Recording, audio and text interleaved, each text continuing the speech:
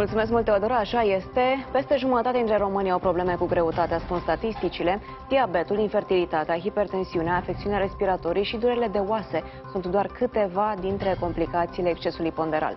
Vestea bună este că persoanele care slăbesc pot scăpa de aceste probleme.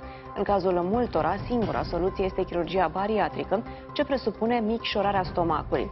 Astfel de operații se fac cu succes și în România și despre avantajele lor discutăm cu invitatul meu de astăzi, domnul dr. Mihai Ionescu, medic specialist chirurgie generală. Bună dimineața, bine ați venit! Bună dimineața! Care sunt avantajele acestei proceduri? Procedura de mișorare a stomacului este una din cele uh, 4-5 intervenții de chirurgie pentru obezitate și pentru comorbiditățile asociate, adică bolile asociate care vin în urma obezității.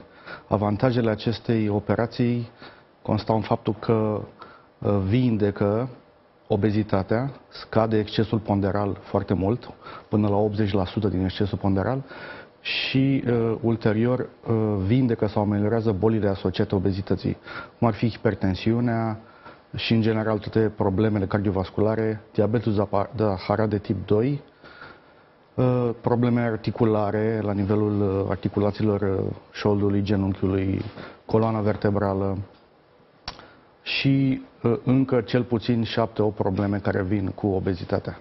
Cât de mult se schimbă viața pacientului sau stilul de viață după o astfel de intervenție? Viața se schimbă foarte mult și uh, în bine se schimbă. Uh, stilul de viață trebuie schimbat, dar asta depinde de pacient. Operația duce la o scădere ponderală serioasă și odată cu asta statusul social și de sănătate al pacientului se schimbă major pacienții vin la controle schimbați în bine, pe unii dintre ei nici nu-i recunosc la controlul de un an de zile pentru că au slăbit foarte mult, dar vin extrem de încântați de rezultatele obținute. Care sunt limitele acestei intervenții? Există contraindicații? Există persoanele, persoane care nu pot beneficia de această intervenție și de ce?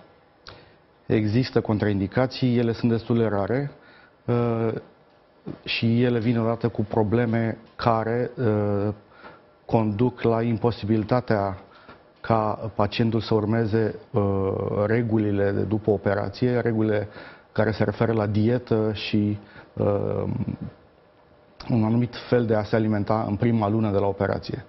În general, problemele psihice majore care fac ca pacientul să nu poată coopera și să nu poată urma rigorile um, regimului. Când vorbim despre chirurgia bariatrică, cât de mult vorbim despre o intervenție de ordin medical și cât vorbim despre intervenție estetică?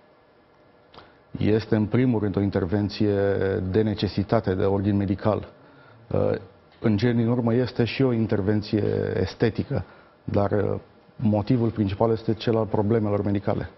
Domnule doctor, mulțumesc pentru prezența la noi în platou și pentru informațiile pe care ni le-ați oferit. Și eu vă mulțumesc. Iar noi ne revedem